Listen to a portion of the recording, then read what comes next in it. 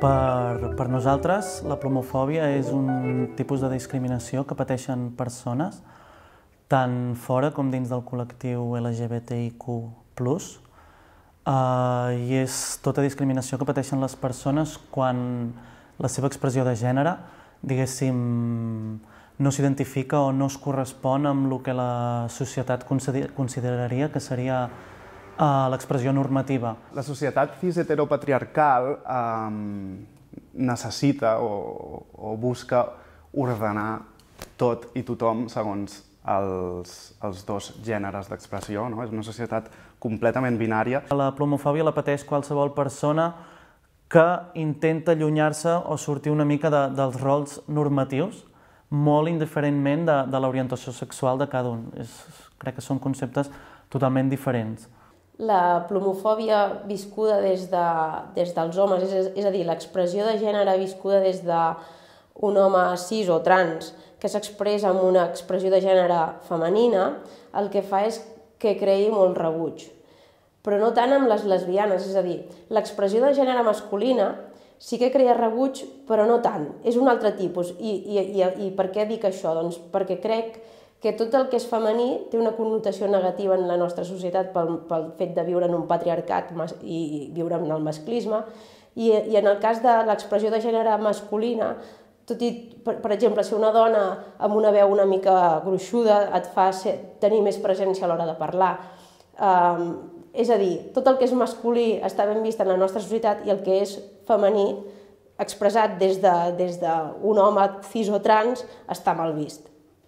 I, I en el cas de les persones trans, el que, el que creiem és que la societat no sap com, com ordenar-les. No? Aleshores, el que fa és, és, és una ordenació, ordenar-les d'alguna manera eh, perquè els hi quadri el rol d'expressió de gènere amb, amb, amb el seu sexe. No?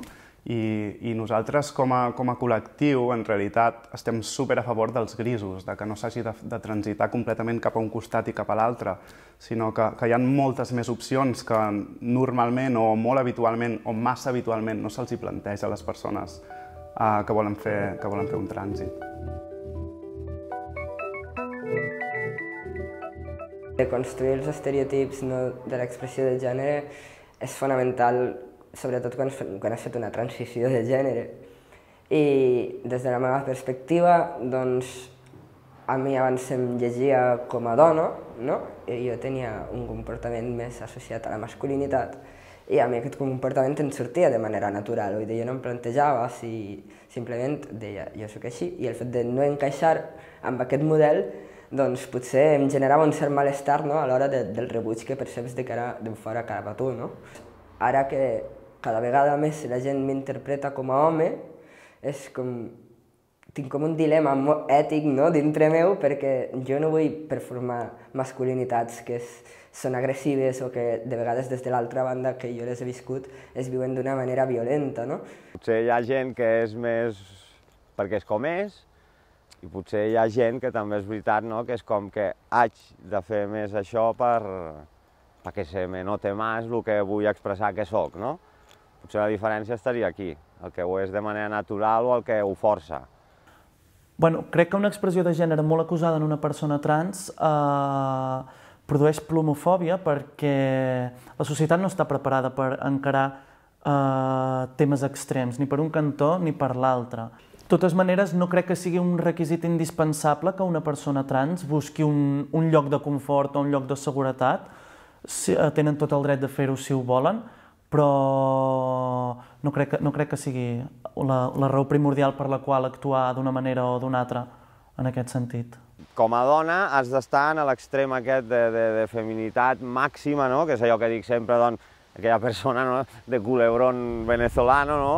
que sempre has d'anar pues, mega vestides, mega arreglada, no? la dona que socialment ha sigut sempre allò antanyo, no? de eh, calladeta, comporta't, Bueno, I una mica aquí són aquests tòpics no? que trenquem, de, després tu et vas trobant a tu mateixa, clar, que et trobes després que quan, que quan tu et vas expressant com és tu, doncs com qualsevol altra dona també ho fa, no? que al final la majoria jo no sé, jo la majoria d'amigues que tinc, no, no, amigues cis, no, vull dir, els tests de l'AUTIC no el passaria cap, eh? vull dir, no, les farien fora totes.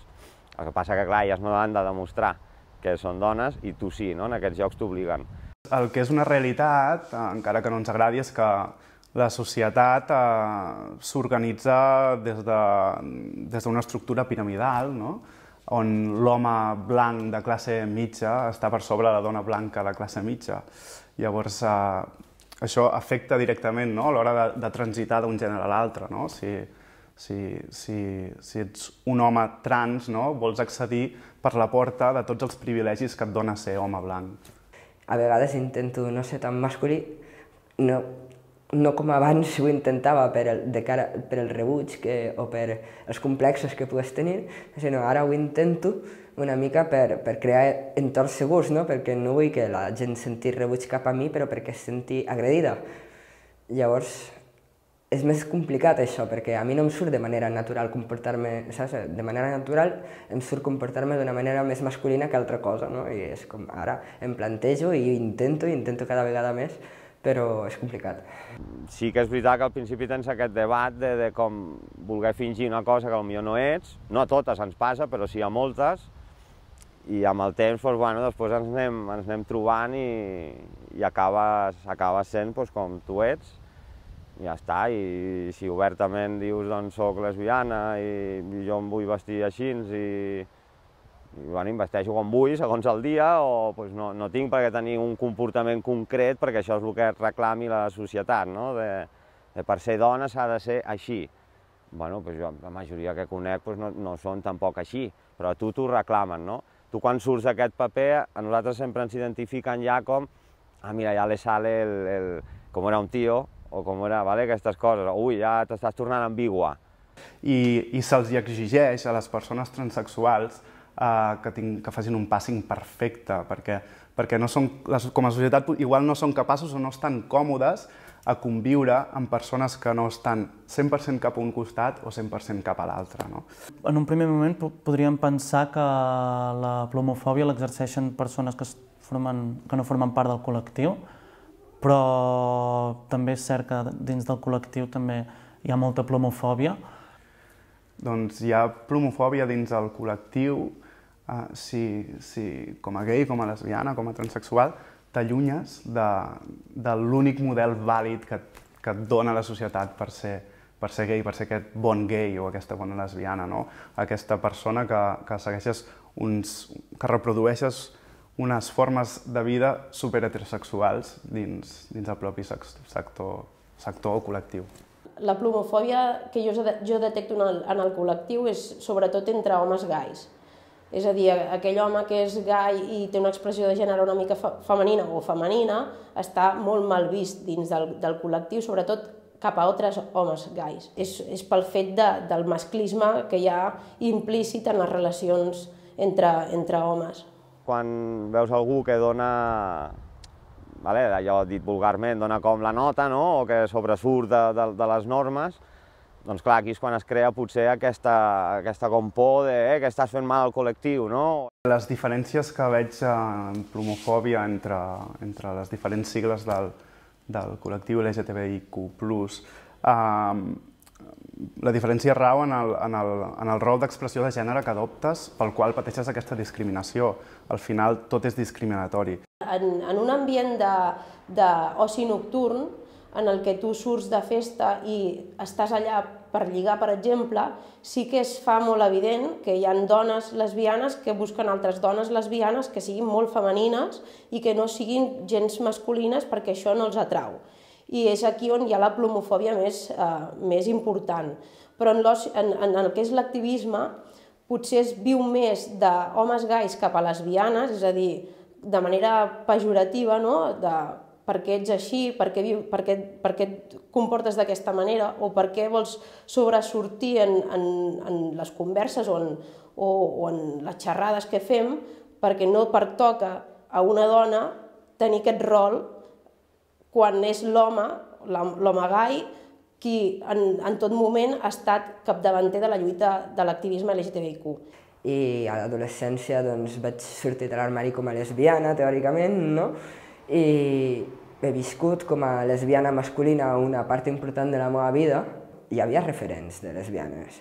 I bueno, no passava res, és com hi ha molta discriminació pel tema directe de l'orientació, però també hi ha referents positius, hi ha llocs, camins que pots buscar, però el tema de la plomofòbia no es tractava en aquella època, no, no senties cap discurs que digués no, està bé, està bé que siguis una dona masculina, no passa res, i pots ser bonica sent una dona masculina, i la gent, això no significa que ningú t'estimarà mai com ets, no?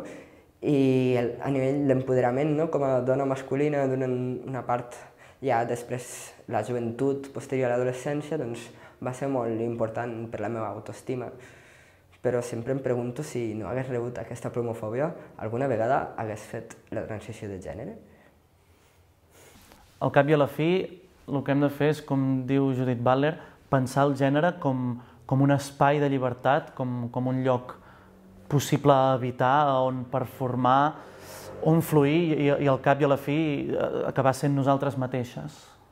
Bé, doncs, des de la Q, des de la Q de Queer i de Queer de Barcelona, eh, ens encanta la pluma i la, la, la, la reivindiquem com a, com, a, com a arma de revolució i com a diversitat, que el gènere, al cap i a la fi, és, és un armari on podem agafar coses i podem fluir i un dia em puc posar un tipus de roba i un altre dia un altre tipus i és fantàstic i cadascú es vesteixi de la forma que vulgui, no?, amb el gènere i el dia que vulgui i quanta més diversitat millor.